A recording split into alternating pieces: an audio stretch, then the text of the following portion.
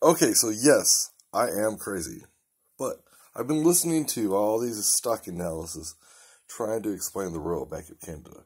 But I found something. Okay, if you do a Google search on the videos of the Royal Bank of Canada, which I was trying to just look for my own video, just to see how popular it was. But anyways, you get this CRA login. Okay, now that is the look.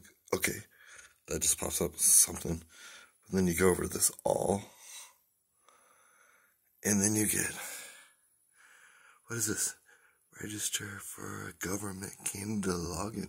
That means that the government is on related searches.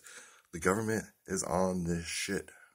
They're trying to get this shit. So it's not just a bunch of people selling and phishing and doing all. This is big fucking shit. Oh, did I just cuss? Yeah, this big shit. Not safe for kids, but big shit.